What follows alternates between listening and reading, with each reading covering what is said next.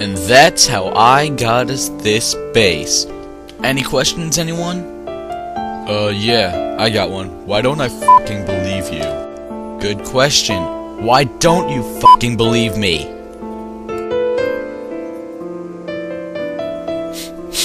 Oh man, who just farted? Oh, it wasn't me. Yeah, me neither. You know what? I think it was you, John. You've been awful quiet today. What the fuck, dude? It wasn't me. you ever heard of something called he who denied it supplied it? Come on, dude. I don't think he deserves to die for farting. Stay out of it. The fart just gotta learn a lesson. Well, maybe it was you. You ever heard of he who smelt it dealt it? Uh, no. It couldn't have been me. It just couldn't have. Oh yeah, it was you. And he who dealt it must die.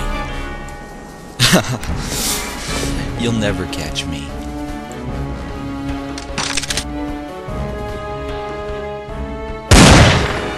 So, did he really fart? No, it was me. I just didn't want him to overreact.